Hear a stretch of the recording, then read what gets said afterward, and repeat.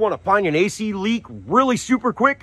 Well, the Clay Way's got the super trick. Make you one of these things. I made this a couple years ago. It Allows me to add compressed air into the system. Find a leak anywhere. Which is the most worst thing you can possibly do to any AC system. Evacuate it, we'll make it last. Acids and carbons that are gonna build up inside this system will take years to erode it. Face it, your shit's old and you just wanna be cold. That's what I did. Off the end of an old vap hose or you could use one of them stupid AC Pro. I think them things are stupid. Before Build Back broke, used to be able to buy one of these for about $120. We both know that's a fucking joke. Now they're almost 350 bucks. And propane will do the same thing, folk. I got a solution. 30 pounds of refrigerant is so expensive, it makes them stupid ones that cost $95 look like a good deal. Not though. It's just stinking refrigerant. It works under physics. What happens if you spend 70 to $90 on one? Know your AC system even works? Pick up a freaking book or watch one of my YouTube videos. Tell you exactly how to do this and you why it works the way it does. I'll look down in the description below for a link to that video. So I attached the line to my low side, attached a fitting, compressed air in there. Actually, nitrogen is the best air to use. We're working with what we got around here, people. Fitting on, on, able to find your leak. You know where the leak was on this one? Right here.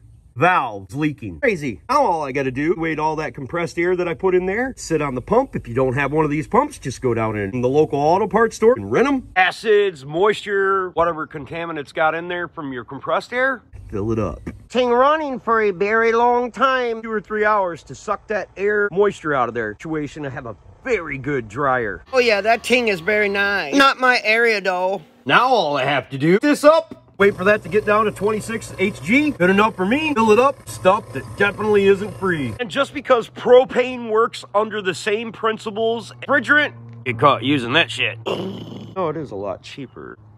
Almost like they're trying to force you to make fittings to attach them to a propane canister and put it in there. Remove these, you have no leak. Even if that leak wasn't there, the air will show you where. If you dug what I did in this video, please consider subscribing, giving me them sweet old thumbs up. If you've got a question, you can hit me up on Clay's AC and Auto Repair on the Facebook Messenger for absolutely free. Don't know why I was holding my thumb up. I don't collect any information and I can't help you with that baby mama drama, but I may be able to help you fix that whip. Remember, no matter what it is you think you can or cannot do, if anyone else can do it, you can do it too. Don't be the next to them, be the first to you. God bless and have the absolute best of days, folks.